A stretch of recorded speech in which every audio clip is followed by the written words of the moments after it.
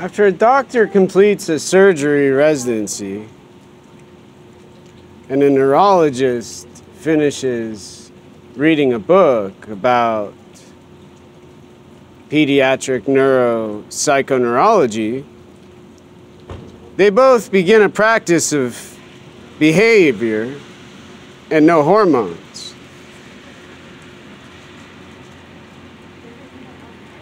An activity involving energy much different than behavior and no stimulation, language and no stimulation.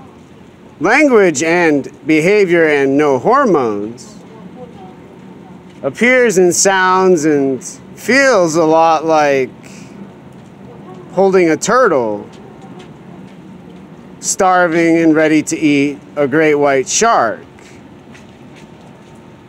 in silence.